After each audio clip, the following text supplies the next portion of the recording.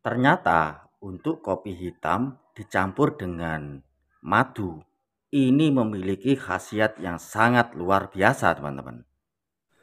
Assalamualaikum warahmatullahi wabarakatuh. Ya teman-teman, jumpa lagi ya dengan channel Ide Kreatif. Teman-teman, pada kesempatan video kali ini teman-teman, saya akan membuat sebuah ramuan ya atau membuat sebuah resep teman-teman, yaitu membuat campuran dari kopi bubuk hitam seperti ini dan juga satu saset madu nah, nanti akan menjadi ramuan atau resep yang sangat luar biasa teman untuk manfaatnya. Dan di sini ada sekitar 7 manfaat teman-teman. Dan untuk fungsi yang pertama ini sangat luar biasa. Menjadi kesukaan dari istri kita teman-teman. Oke seperti apakah untuk hasilnya nanti teman-teman? Simak videonya sampai selesai. Sebelum lanjut, bantu tekan like dan subscribe. Terima kasih.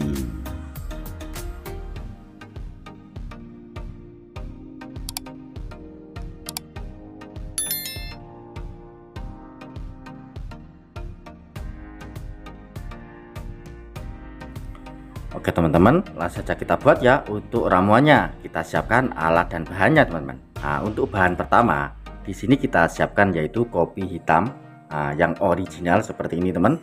Tanpa gula ya yang pastinya. Untuk mereknya itu terserah teman-teman. Oke selanjutnya kita siapkan satu saset madu.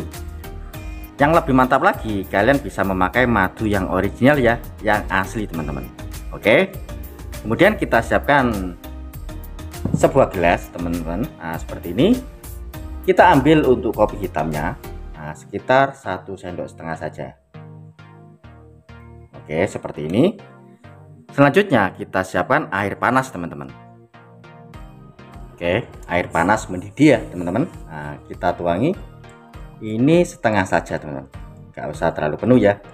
Setengah saja seperti ini. Kemudian kita aduk ya. Kita aduk sampai merata, teman-teman.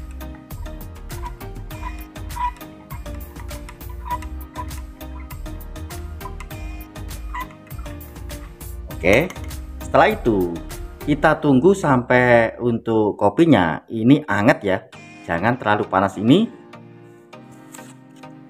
kita tuangi madu seperti ini ya jangan. Kita tunggu sampai anget saja. Setelah kita tunggu nah, untuk kopinya ini sudah anget-anget kuku ya. Nah, kemudian kita buka untuk madunya teman-teman. Nah, kalian bisa memakai madu sasetan seperti ini pun.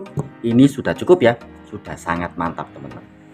Oke ini kita masukkan semuanya ya satu saset.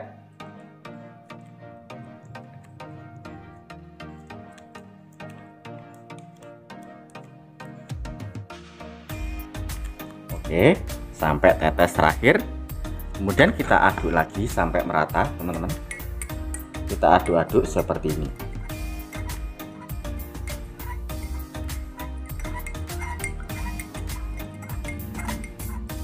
Oke dan ramuan yang kita buat ini ini sudah jadi ya teman.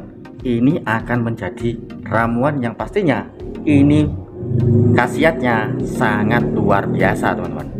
Oke Sebelum saya konsumsi atau saya minum nah saya akan menjelaskan dulu ya bahwa memang untuk fungsi dari resep ini ini memang sangat dibutuhkan Oke Oke teman-teman, nah, saya akan jelaskan dulu ya untuk khasiat dari ramuan ini teman-teman. Nah di sini saya sudah siapkan sebuah HP Android ya. Kita buka untuk mbak Google-nya. Saya ketik seperti ini, campuran kopi dan madu teman-teman. Nah coba kita lihat. Wow, ternyata di sini ada banyak sekali ya teman. Nggak hanya empat tapi ada tujuh khasiat teman-teman. Wow, ternyata sangat banyak teman untuk khasiatnya. Wow, kita, kita lihat nah di sini tujuh khasiat rutin minum kopi campur madu bikin penyakit ini tidak berkutik kita lihat teman-teman apa saja fungsi dari ah untuk yang pertama ini mencegah impotensi teman-teman nah untuk kedua menambah stamina kemudian yang ketiga ini meningkatkan energi teman-teman dan yang keempat menurunkan resiko diabetes teman-teman. Dan yang kelima, menurunkan resiko kanker mulut. Dan yang keenam, memperkuat jantung. Dan yang terakhir, menurunkan resiko kanker usus besar teman-teman. Oke, ternyata untuk khasiat dari kopi hitam seperti ini dicampur dengan madu itu memiliki khasiat yang sangat luar biasa teman-teman. Oke, jadi ini aman ya bila kita konsumsi tiap hari teman-teman. Nah, minum rutin kopi campur madu bikin penyakit ini tidak berkutik. Jadi memang untuk campuran dari resep kali ini teman-teman, ini manfaatnya sangat luar biasa teman-teman. Oke. Jadi kalian wajib ya untuk membuat resep kali ini teman-teman. Oke. Seperti ini teman untuk tutorial atau tips kali ini. Semoga untuk tutorial kali ini ini bisa bermanfaat ya buat kita semua. Oke teman-teman, mungkin cukup sekian ya trik sederhana yang bisa saya bagikan untuk kalian.